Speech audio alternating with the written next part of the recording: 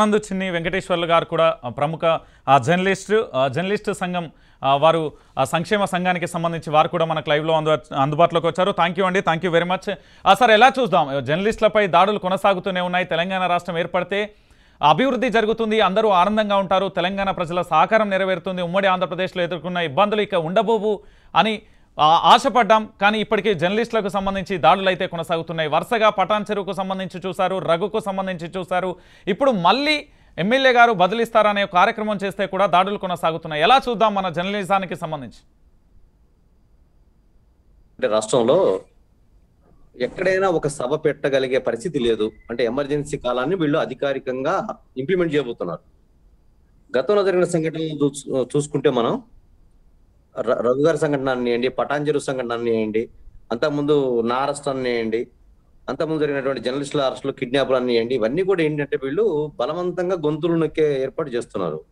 సరే ఇప్పుడు ఈ ఇప్పుడు వరకు ఎవరి మీద ఎఫ్ఐఆర్ చేశారా? ఎఫ్ఐఆర్ ఇప్పుడు ఎవరు ఉండాలా? ఏ వన్ కింద సంబంధిత స్థానిక ఎమ్మెల్యే గారు ఉండాలా? అసలు అంత ముందు ఉన్నటువంటి ఈ స్థానిక ఎమ్మెల్యే ఎక్కడి నుంచి వచ్చాడు? ఆంధ్ర నుంచి వచ్చాడు. ఆంధ్ర నుంచి వచ్చి తెలంగాణ దోచుకోవడం మొదలు పెట్టారు నేను అది కాదని చెప్తుంటే ఆయన బతుకంతా మరి బయట పెడదాం. అది వేరే విషయం. రెండోది ఇప్పుడు అక్కడ ఒక మీడియా సంస్థ రాజ్ న్యూస్ అనేది వెళ్ళిపోయి అక్కడ ప్రజా సమస్యలని అక్కడ ఏం జరుగుతుందని ప్రజలకు ఉపయోగపడే విధంగా ఒక కార్యక్రమం చేపట్టింది. దాంట్లో తప్పే ఉంది అది ఏమన్నా దోపిడీలు చేయమంటారా? లేకుంటే వీళ్ళలాగా బినామీ భూములు కొనుక్కోమని బేరం పాటలు ఇస్తారా కాదు కదా. ప్రజా సమస్యల కోసం రాజ్ న్యూస్ కొంచెం తెగింపు చూపించి ముందుకెళ్ళింది. అది మంచి పరిణామం. అక్కడ ప్రజలకు ఏం కావాలన్నది జర్నలిస్ట్ వృత్తిలో అది ప్రథమ ఫస్ట్ టాస్క్ అది మనకందరికి కూడా. అలాంటిది రాజ్ న్యూస్ ఒక కార్యక్రమం చేపట్టింది దానికి అనుమతులు తీసుకున్నారు దానికి సంబంధించిన చర్చాగోష్ఠికి ఏర్పాటు జరిగినాయి అంతా అక్కడ కనిపిస్తూనే ఉంది. ఇప్పుడు పోలీసులు అక్కడ ఉండగానే అందరు అక్కడ ఉండగానే చాలా ప్లాన్డ్గా ఆ వెహికల్స్ మీద దాడులు ఇవన్నీ అంటే ఎంత అరాచకం అంటే ఇక మీరు రాజ్ న్యూస్ అనే వాళ్ళు కానీ అంటే ఇది ఎగ్జాంపుల్ చూపిస్తూ ఏ మీడియా వాళ్ళు కూడా ఎక్కడైనా సరే రాష్ట్రంలో ఎక్కడ కూడా సభలు పెట్టుకోకూడదు. ప్రజా సమస్యలు వెలుగులో తీయకూడదు అనేది ఒక నిర్ణయానికి వచ్చినట్టు కనిపిస్తుంది. మరి ఇప్పుడు వచ్చి ఎమ్మెల్యే గారిని చెప్పమానండి. రాజ్ న్యూస్ దగ్గరకు వచ్చేసి దీంట్లో నా ప్రమేయం లేదండి సమస్య లేదని అంటే బహిరంగ చర్చకు సిద్ధమని చెప్పండి. అంటే ఆయన ఒక ఎన్ని వందల ఎకరాలు కబ్జా చేసినా మాట్లాడకూడదు. సూర్యాపేట బస్ స్టాండ్ దగ్గర ఏం జరుగుతుంది అన్నది కూడా మనం మాట్లాడకూడదు. వీళ్ళంతా దీంట్లో భాగస్తులు కదా. అంటే వాళ్ళు అవినీతిని ప్రశ్నించేటప్పటికి వీళ్ళకి ఎక్కడ లేని కోపాలు వస్తున్నాయి. ఈ అణివి అణిచివేత ధోరణి ఇలాగనే కొనసాగితే గతంలో తెలంగాణలో మావోయిస్టులు ఎవరు ఎవరైతే ఈ అణిచివేత ధోరణి వల్ల బయటకు వచ్చేసి ఆ రోజు నక్సలైట్ల రూపంలో జరిగిందో మళ్ళీ యువత అటువైపు వెళ్ళకుండా తీసుకోవాల్సిన జాగ్రత్తలు మనందరి మీద ఉంది మన వ్యవస్థల మీద ఉంది. ఇప్పుడు మిగతా వ్యవస్థను చూసుకుంటే పోలీసు వ్యవస్థ మీద నమ్మకం ఉందండి ఎవరికన్నా? ఉంటుందా? ఎందుకంటే పెడవెరకలు వచ్చి ఆ, ఆ రోజు గుర్రం పొళ్ళి అనే విషయం చూపించిన రగ్గారిని ఎట్లా తీసుకెళ్ళారండి? చూసాం అది మన కళ్ళతోటి. అంటే మేము చేసేదంతా చట్టబద్ధం అనుకుంటున్నారా? ఇప్పటికైనా మనం ఏమంటున్నాం? ఇవాళ రాజు న్యూస్ పెట్టింది చట్టబద్ధంగా ఒక కార్యక్రమం చేపట్టింది. ప్రజా సమస్యలు వెలుగులో తీసుకురావడం కోసం. అంత దారుణంగా రా- రాజు న్యూస్ ఆ, బయటకు లాక్కొచ్చేసేసి పోలీసులు అక్కడ చూస్తుండగానే ఆ కుర్చీలు ఫర్నిచర్స్ అన్ని ఇచ్చేయటం ఇది చేయటం దేని సంకేతం ఇది? అంటే ఈ రాష్ట్రంలో ఎవరు కూడా గొంతెత్తి మాట్లాడొద్దు. ఎవడు మాట్లాడితే వాడు గొంతులు కోసేస్తాము. ఎవడైనా మాట్లాడితే జైళ్ళలో పెడతాము. ఇదేనా సంస్కృతి? బంగారు తెలంగాణ తీసుకొచ్చుకుంది వీళ్ళ కోసమా? ఇదేనా బంగారు తెలంగాణ అంటే? వీళ్ళ దృష్టిలో బంగారు తెలంగాణ అంటే ఏంటంటే రాజకీయ ఎత్తుగడలు ఓటు బ్యాంకు ఇవనుకున్నారు అది కాదండి దయచేసి వినండి.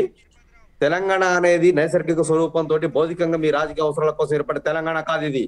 అది ఒక కేసీఆర్ ఏదో తాగునోట్ల తలకాయ పెట్టి తీసుకొచ్చానది కూడా ఒక అబద్ధమైన ప్రచారం అది. ఆ రోజు ఆయన లేస్తే కదా ఉస్మానియా యూనివర్సిటీ వాళ్ళే. ఏది మళ్ళీ ధర్నాలు మొదలు పెడితే కదా ఇల్లు మళ్ళీ పడుకుంది బెడ్ మీద. ఆ రోజు ఆయన్ని కాపాడినటువంటి డా ఎవరైతే ఖమ్మం దానికి సంబంధించి గవర్నమెంట్ హాస్పిటల్ సంబంధించినటువంటి సూపరింటెండెంట్ ఇప్పుడు ఏమయ్యాడండి ఆయన? ఆయన ఎక్కడున్నాడు ఇప్పుడు? ఓ రాజకీయ పదవి.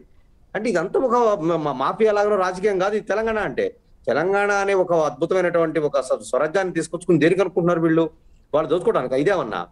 ప్రతి ఒక్కళ్ళు మాట్లాడాలని ప్రతి ఒక్కళ్ళు వాళ్ళ ఆ- ఆకాంక్షలు ఉన్నాయి దీంట్లో. అమరవీరుల త్యాగ ఫలితాలు ఉన్నాయి దీంట్లో. ఏ రాజకీయ నాయకుడు కొడుకు చచ్చిపోలేదే? ఈ సంపాదించుకున్నటువంటి వాళ్ళు ఎన్ని ఎన్ని రోజులు జైలుకి వెళ్ళారు వీళ్ళు? వీళ్ళు ఎవరైనా ఉద్యమాలు దిగిన వాళ్ళ? ప్రతి ఒక్కటి లోపలికి వెళ్తే బాధ అనిపిస్తుంటది. ఎవరి కోసం తెలంగాణ తీసుకొచ్చుకున్నాము? ఎవరి కోసం మనం ముందుకు వెళ్తున్నాము జర్నలిస్ట్ పరిస్థితి ఏంది ఇప్పుడు? తెలంగాణ రాష్ట్రంలో పదిహేడు వందల మంది జర్నలిస్ట్ మీద కేసులు పెడతారా? నిన్న మొన్న రాత్రి లిఫ్ట్ చేసినటువంటి గుణ అనే ఒక హైకోర్టు జర్నలిస్ట్ అర్ధరాత్రి మీరు సబ్మిట్ చేశారు. అంటే మీరు మీ ఇష్టం వచ్చినట్టు తీసుకెళ్ళిపోయి కిడ్నాపులు చేసేస్తారు. మీ ఎదురుగా దౌర్జన్యాలు జరుగుతుంటే మాట్లాడరు. ఈ ప్రజాప్రతినిధులను మనం గౌరవించాలా? ఇప్పుడు జరగబోయే పరిస్థితి కూడా దారుణం ఏంటంటే ప్రజాప్రతినిధులు వచ్చే ఎన్నికల్లో మరి తిరిగే పరిస్థితి ఉంటుందా? గ్రామాలలో ఆలోచించుకోవాలి మరి వాళ్ళు కూడా. ఎంత దారుణం అండి? ఒక ఒక టీవీ ఛానల్ చర్చగోష్ఠి పెడితే దాంట్లో వచ్చే సమస్యలను పరిష్కరించుకుంటే ఆయన మంచి ఎమ్మెల్యే అవుతాడు. ఇంత ముందు కూడా ఏంటి కాళ్ళు నరుగుతాం చేతులు నరుగుతాం అని వాళ్ళ మీద కేసులు పెట్టి అరెస్ట్ చేశారా? ఇప్పటిదాకా చేయగలిగే ధైర్యం ఉందా? అంటే రాష్ట్రంలో రెండు చట్టాలు అమలు చేస్తున్నారండి. ఒకటేమో అధికార పార్టీ వైపున ఏ అరాజకం చేసినా సరే ఏది రూల్స్ బ్రేక్ చేయడం కోసం ఉన్నట్టుగా ప్రవర్తిస్తున్నారు. రెండు వైపు ఏ నేరం చేయనటువంటి వాళ్ళు ఇవాళ జైలుకి వెళ్ళి కూర్చున్నారు. ఇదండి రాష్ట్రంలో పరిస్థితి చాలా అంటే. సార్ ఒక్క మాట ఒక్క మాట అక్కడ అక్కడ ప్రోగ్రామ్ కొనసాగు అక్కడ ప్రోగ్రామ్ కొనసాగుతూ ఉంటే పోలీసులు అయితే భారీగా ఉన్నారు. కానీ ప్రేక్షక పాత్ర మాత్రమే వహిస్తున్న పరిస్థితి. ఎక్కడ ఎవరిని అరెస్టు చేసిన దాఖలాలు లేవు. ఎవరిని రిమాండ్కు కానీ పోలీస్ స్టేషన్కి తీసుకెళ్ళి వారిపై కేసులు నమోదు చేశామన్న ఆచూకీ ఇప్పటివరకు లేదు. ఉదయం నుంచి కొనసాగుతున్న ఈ హైడ్రామాకు సంబంధించి పోలీసులది ఎక్కడా కూడా అరెస్టు లేవు. మరోవైపు ఏదైనా సమస్య ఉందని ఎమ్మెల్యే కానీ మినిస్టర్ కానీ సీఎం కాన్వాయ్ అడ్డుకుంటే వెంటనే అరెస్టు చేసి పోలీసులు రిమాండ్కు తరలించే పరిస్థితి కనిపిస్తుంది. కానీ ఇక్కడ కేవలం రాజు రాజ్ న్యూస్ ఛానల్ చేసిన ప్రయత్నం ప్రజా సమస్యలు ప్రభుత్వం దృష్టికి చేరవేసినందుకే ఇక్కడ ప్రభుత్వంతో కానీ ఎవరికి వ్యతిరేకం కూడా కాదు. అయినా కూడా ఇప్పటివరకు ఎవరిని అరెస్టు చేయలేదు. అరెస్టు చేయకపోవడాన్ని అదే జర్నలిస్టులను అయితే అరెస్టును అతి దారుణంగా అరెస్టు చేసిన పర్వాన్ని కూడా చూస్తున్నారు. ఎలా చూద్దాం దీనికి సంబంధించి? ఇప్పుడు రాష్ట్రంలో మనం చెప్పేది అదే సార్. ఇప్పుడు ఏమవుతుందంటే ఈ పోలీస్ యంత్రాంగం మొత్తం కూడా ఈ కేవలం ఏదో కేసీఆర్ గారు జేబులో డబ్బులు ఇస్తున్నట్టుగానో లేకుంటే ఇంకెవరో డబ్బులు ఇస్తున్నట్టుగా ఫీల్ అవుతున్నారు వాళ్ళ జీతాలు. ఇప్పుడు ఇప్పుడున్న పరిస్థితుల్లో ప్రజాధనంతో వాళ్ళు శాలరీలు తీసుకున్నారు రేపు ప్రభుత్వం మారుతుంది. ఇంకో ప్రభుత్వం వస్తే ఇదే గులాంగిరి చేస్తారా వీళ్ళు?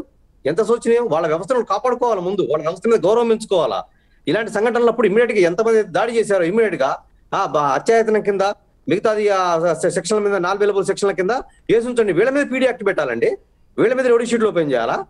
అది వదిలిపెట్టేసేసి జ- జర్నలిస్టులు ఒక ఒక రాజు న్యూస్ అనే ఒక మా న్యూస్ ఏజెన్సీ సంస్థ ఒక ఛానల్ వచ్చేసి ఒక చర్చాగోష్ఠి పెట్టింది ప్రజలకు ఉపయోగపడే విధంగా. అంటే పోలీసులు ప్రేక్షక పాత్ర వహిస్తున్నారు. ఇప్పుడు పోలీసు వాళ్ళు కూడా కొట్టారు కదా? ఇద్దరు ముగ్గురిని అయినా వాళ్ళు వాళ్ళు చర్యలు తీసుకోరా?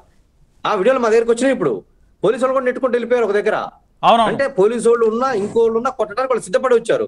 ఇది గత రెండు మూడు రోజుల నుంచి నెట్వర్క్ జరిగిందండి.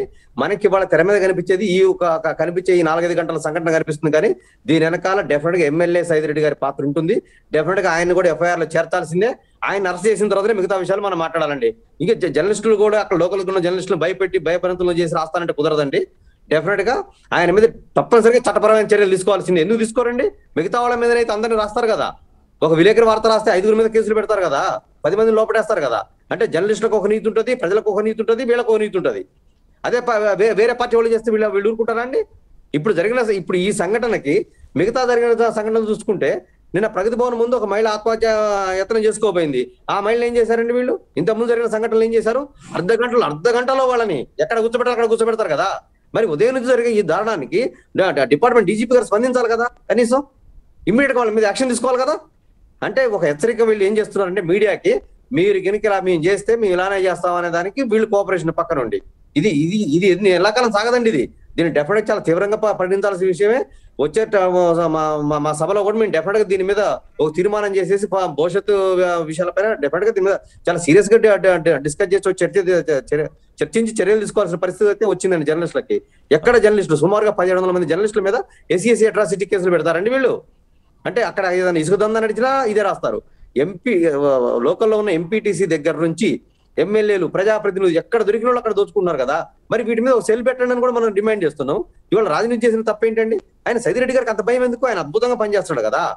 అంత అద్భుతంగా ప్రజాసేవ చేసే నాయకుడు అక్కడ వచ్చి చేరేసుకొని కూర్చొని మీరు చెప్పండి మీ సమస్యలు మీరు పరిష్కరిస్తామని కూర్చోవాలా? అది ధైర్యం అంటే ప్రజాప్రతినిధి అంటే అది. ప్రజాప్రతినిధి ఆద- ఆదర్శంగా నిలవాలి అందరికీ. మేము ఆ గుండాల పంపించి కొట్టిస్తామంటే ఎన్ని రోజులు కొట్టి పంపిస్తారు? ఎన్ని రోజులు చేస్తారు ఈ అరాచకాలు? ఇక కరెక్ట్ కాదు కదా ఇది.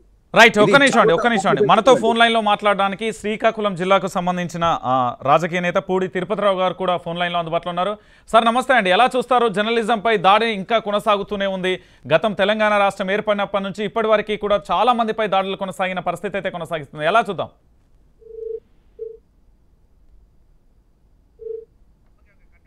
రైట్ భాగ్యారెడ్డి గారు ఫైనల్గా మీకు దీనికి సంబంధించి ఏం చెప్తారు? నగర్ చరిత్రలో అసలు ఇటువంటిది ఎప్పుడు జరగరగదు. నాకు తెలిసి అభివృద్ధి అంటే ఏదో తెలవని వ్యక్తిని తెచ్చి కల ఎమ్మెల్యే చేసరికి అభివృద్ధి వదిలేసి అక్రమ సంపాదన మీద దౌర్జన్యం మీద ఉన్నాడు. తర్వాత కొత్త సంస్కృతి అండి. వాహనాలను ధ్వంసం చేయడం ఒక వీధి రౌడీల్లా ప్రవర్తిస్తున్నారు అక్కడ ఉన్న వచ్చిన వారంతా కూడా. వీధి రౌడీల కంటే ఘోరంగా. ఇప్పుడు ప్రభుత్వానికి ప్రజలకి మధ్యలో ఉన్న ఎవరైతే మీడియా ఏదైతుందో మీడియా యొక్క హక్కుల్ని హరించటం ఒక పూర్తిగా ఈ తెలంగాణ రాష్ట్రం ఏదో అభివృద్ధి జరిగింది అనుకుంటే తెలంగాణ రాష్ట్రాన్ని పూర్తిగా అంధాకారంలో నెట్టేస్తున్నారు. ఇది ఏదో హుజూర్ నగర్లో కూడా అభివృద్ధి అనేది శూన్యం. అభివృద్ధి అనేది జరిగింది అంటే మాత్రం ఒక TRS party MLA Saidi Reddy వారి కుటుంబ సభ్యులకు వారి ముఖ్య అనుచరులకు ఏదైతే ఇల్లీగల్ వ్యాపారాల ద్వారా అభివృద్ధి జరిగింది తప్ప వారు ఇవన్నీ రాజు నుంచి బయట పెడుతుందని చెప్పి ఒకే ఒక భయం పట్టుకుంది వారికి. వారి యొక్క చీకటి సామ్రాజ్యాన్ని రాజు నుంచి వెలుగులోకి తీస్తుంది. ఎందుకంటే అందుకే ప్రత్యేకించి వాళ్ళ తెలంగాణ ప్రభుత్వం గాని ఇక్కడ వాళ్ళ ఎమ్మెల్యేలు గాని పూర్తిగా రాజు కక్ష కట్టారు. ఎక్కడ మా అవినీతి బండారం బయట పెట్టదో ఎక్కడ మేము జైలుకు పోవాల్సి వస్తుందని చెప్పేసి ఒక భయం పట్టుకొని వాళ్ళ ఎమ్మెల్యేలు బతుకుతున్నారు. దాంట్లో భాగంగానే ఇవాళ దాడి చేయించడం జరిగింది. ఖచ్చితంగా. దీనికి ఎమ్మెల్యే సైదిరెడ్డి ఈ టిఆర్ఎస్ ప్రభుత్వం ముఖ్యమంత్రి కేసీఆర్ గారు ఖచ్చితంగా వారు తగిన గుణపాఠం తెలంగాణ ప్రజలు చెప్పడానికి సిద్ధంగా ఉన్నారు. రేపు రాబోయే రోజుల్లో విలేజ్ ఫైనల్ ఒకటేనండి. ఇది చాలా భారతీయ జనతా పార్టీ పక్షాన. మేము చెప్పదలుచుకున్నాను. ఈయన తెలంగాణ సమాజానికి ఏం మెసేజ్ ఇవ్వాలనుకుంటున్నాడో తెలంగాణ ప్రజలు చూస్తారు నిజంగా ఆయన ఎమ్మెల్యే అయితే ఆయనకు దమ్ము ధైర్యం ఉంటే ఆయన మంచిగా పాలన చేస్తుండు అనుకుంటే ఆయన నిజంగా సక్రమంగా చేస్తుండు అంటే అఖిలపక్షం ఏర్పాటు చేసి ప్రజలని ప్రజా సమస్యల మీద పోరాడమనండి. ఇంకొకటి ఇక్కడ ముఖ్యమంత్రి కలవడు ఎంపీ కలవడు మినిస్టర్ కలవడు ఓ వార్డ్ నెంబర్ రాడు. ఈ రోజు ఒక ప్రజా ప్రతినిధి ఈ రోజు మిమ్మల్ని ఎన్నుకున్నారంటే మీరు ఎంత గొప్ప వ్యక్తి అనేది మీరు ఆలోచించాలి. ఎక్కడో మీరు ఎక్కడో దాచుకొని అవునండి రాజ్ న్యూస్ పోయింది. వాళ్ళ పని వాళ్ళు చేసుకుంటారు ప్రజా సమస్యల మీద వాళ్ళు పోరాడుతున్నారు. అది నువ్వు మంచిగా చేస్తున్నప్పుడు నీకు ఎందుకు అంత బాధ? ఆ బాధ అనేది నాకు ఇప్పుడు నిజంగా ఒకటి అర్థమైంది ఏంటంటే రాజ్ న్యూస్ అనేది ప్రజల కోసం పనిచేస్తుంది. తెలంగాణ ప్రభుత్వానికి తొత్తు వలుపుతలేదని వాళ్ళ బాధ. ఎందుకంటే నాకు తెలిసి ఇప్పుడు అట్లనే అనిపిస్తుంది. ఆ- రకం ఎందుకంటే అతి అంత ఇంత మంచి ఛానల్ ఏ ఛానల్ కూడా పబ్లిక్ ఇంత తొందరగా దగ్గర కాలేదండి. ఈ రోజు రాజ్ న్యూస్ అనేది ప్రజా సమస్యల పైన మహిళల భద్రత పైన అత్యాచారాల మీద రాష్ట్రం ఎట్లా జరుగుతుందంటే ఇలా సమస్యల పైన రోజుకొకటి రోజుకొకటి భూ వివాదాలే కానివ్వండి భూ కుంభకోణాలే కానివ్వండి ఒక్కొక్కటి ఒకటి వెలుగులోకి తీసుకొస్తుంటే అది ప్రభుత్వం అనేది జీర్ణించుకోలేకపోతుంది.